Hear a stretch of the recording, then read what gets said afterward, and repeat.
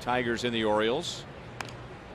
And the pitch that was up, and he gets it over Gillaspie. so even a a pitch that he didn't even really read all that well still got it over the third baseman for a base hit. Sometimes when you make contact, you don't know where it went. And that's what happened. Lough didn't get a jump out of the box. We'll have to see it again. he was saying, Well, I know I hit it that way. Where'd it go? Oh, yeah. After a home run and then you doink one, you're going good. Gillaspie